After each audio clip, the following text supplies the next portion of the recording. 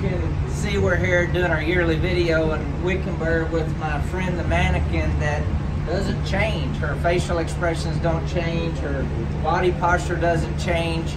You know, it's just like Jesus. He says he's the same yesterday, today, and forever. His word never changes, but it's up to you and I to choose to believe it, to choose to think on it, to choose to declare it. Circumstances can go haywire, but God never changes, just like the mannequin, just like a statue. Statutes.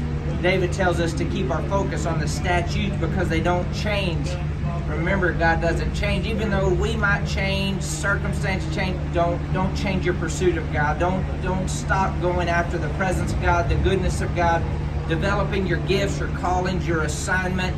God is for you and not against you. Keep going after Him. Keep growing, keep going. Talk to you soon.